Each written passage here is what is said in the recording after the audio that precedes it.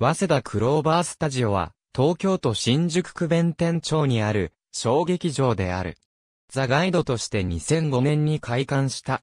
観客席が2階建ての作りになっており、座席数は50席となっている。この時期の管理は、舞台美術家でタイムラググループ代表の佐藤彩子。2017年7月、早稲田クローバースタジオへとリニューアル。試しの場を基調とし、お笑いライブを定期的に開催する。なおクローバースタジオの綴りは、クローバースタジオではなく、ローマ字表記のクローバースタジオである。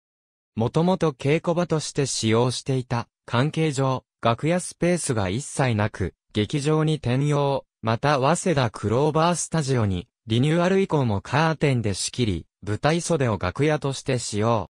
また、超光沢など音響、照明スペースが舞台下手側に存在する。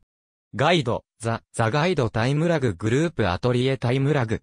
guideyoyaku.blog24.fc2.com。2018年8月10日閲覧。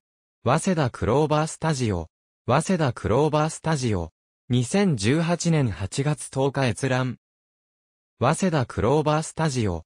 ジョークファクトリーウェブ、https コロンスラッシュスラッシュ www.jokefactory.jp スラッシュ locations スラッシュ e6% 97% a9% e7% a8% b2% e7% 94% b0% e3% 82% AF% E3% 83%, AD% E3% 83%, BC% E3% 83% 90%, E3% 83% BC%, E3% 82% B9% E3% 82%, ボーイフレンドパーセント E3% B8%、E3%、82%、AA2018 年8月11日、閲覧。